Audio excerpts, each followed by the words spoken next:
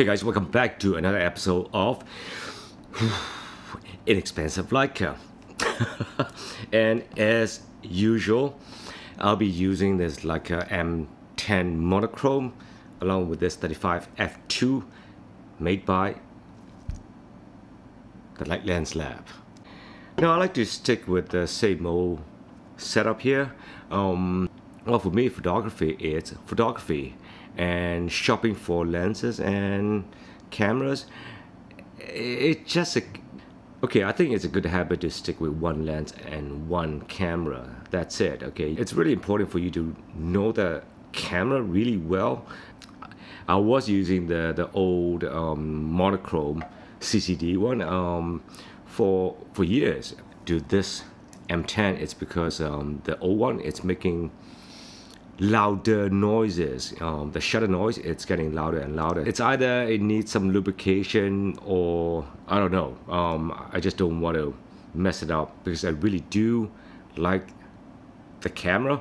So I want to keep it in a working condition. I can't believe I've been using this camera for more uh, more than a year. Wow. Hmm, okay. Now it's still working perfectly, flawlessly the battery is still good uh, uh, this is my daily camera so you know I don't exactly you know treasure it. I just treat it like a camera nothing special just because it's a Leica. Okay